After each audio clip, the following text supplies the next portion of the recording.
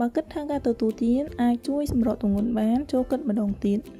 ក្រុងយូយ៉កការតមអាហារត្រូវបានអនុវត្តរាប់រយឆ្នាំមកហើយហើយអ្នកគិតថាវាគឺជាវិធីមានប្រសិទ្ធភាពបើចង់សម្រកទម្ងន់ប៉ុន្តែជាក់ស្ដែងការតមអាហារអាចធ្វើឲ្យអ្នកឡើងគីឡូទៅវិញពេលអនុវត្តមិនត្រឹមត្រូវដែលមនុស្សរវែងធ្វើនោះហើយដែលជាមូលហេតុធ្វើឲ្យឡើងទម្ងន់ពេលអ្នកតមអាហារគូបានរបស់អ្នកបានបញ្ជូនសញ្ញាទៅរាងកាយដោយការឃ្លានញ័រដៃញ័រជើងអរម៉ូនលេបទីន ដើរតួនាទីសំខាន់នៅក្នុងការវែកញែកថាការតមអាហារមិនត្រឹមត្រូវទេ តែជាការបង្កើនជាតិខ្លាញ់ទៅវិញហើយវាធ្វើឲ្យរាងកាយញ័រដោយការស្រេកឃ្លានលើពីនេះនោះអ្នកអាចកើតរោគ stress បន្ថែមទៀតផងបើចង់សម្រកទម្ងន់មែនអ្នកមិនគួរតមអាហារយ៉ាងគំហុកឬធ្វើឲ្យខ្លួនអ្នកស្រេកឃ្លានទេ តែជាការផ្លាស់ប្ដូរទៅរករបបអាហារសុខភាពតិចតួចចូលបែងចែកអាហារទៅជាចំណែកតូចតូច3ពេលក្នុងមួយថ្ងៃជាជាងការទទួលទាន3ពេលពេញទំហឹង1ទឹក8កែវក្នុងមួយថ្ងៃនេះគឺជាកម្រិតស្តង់ដារដោយសារទឹកកម្ចាត់ជាតិពុលពីរាងកាយតាមធម្មជាតិ2ចូលបង្គន់2ដងក្នុងមួយថ្ងៃគឺជាទម្លាប់ល្អ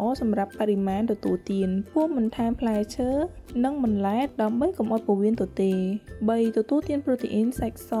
ដូចជាមាន់ត្រីឬសាច់ជ្រូកជាដើមសាច់ពណ៌សទាំងនេះជួយរក្សាវ័យនិងជួសជុលសាច់ដុំបន្ថយសាច់ក្រហមដែលមានជាតិខ្លាញ់ខ្ពស់និងបង្កើនកូលេស្តេរ៉ុល4ហាត់ប្រាណមនុស្សជាច្រើនគិតថាគ្រាន់តែកាត់បន្ថយអាហារប្រចាំថ្ងៃពួកគេមិនចាំបាច់ហាត់ប្រាណនោះគឺពួកគេគិតខុសហើយ